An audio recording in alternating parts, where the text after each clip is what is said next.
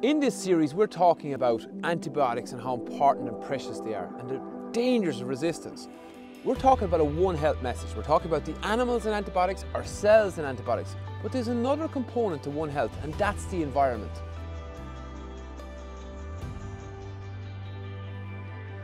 In recent years, we've been learning more and more about the role of the environment and its role in the driving of antibiotic resistance.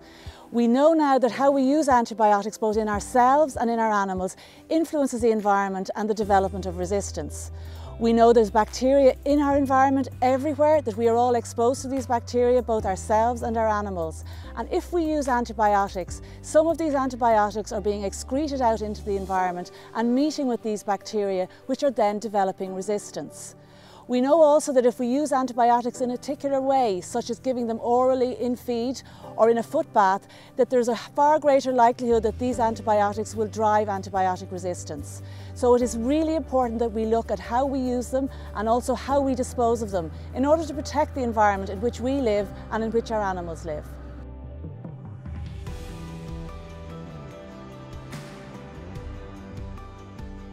Karen, as you've pointed out, it's the animals, the humans, and the environment is where bacteria are. And not all bacteria are bad, most of them are, are, are commensals, but we, we must minimise the amount of antibiotics getting into the environment.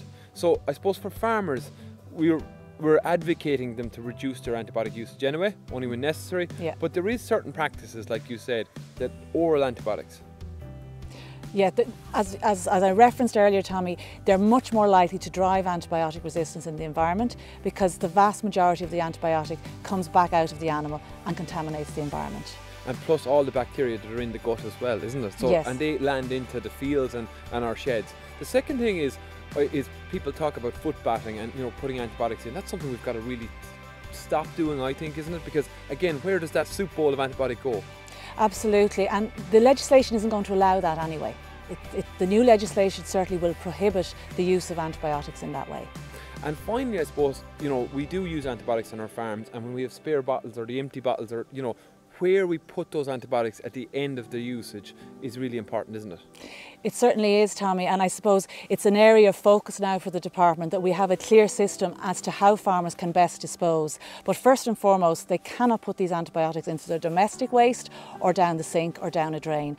These are key routes for contamination of the environment. It's expensive to get rid of antibiotics, but there is options out there. People can go to their veterinary practices. There is a charge. Um, people go to local county councils who will dispose of them. And as you said, it's an area that the department are working on, but it's an area I suppose I didn't think about before thought about the animals, thought about myself, but the environment's an important one as well, isn't it? It absolutely is, and disposal, how you dispose, uh, that you dispose correctly of antibiotics is how we protect our environment.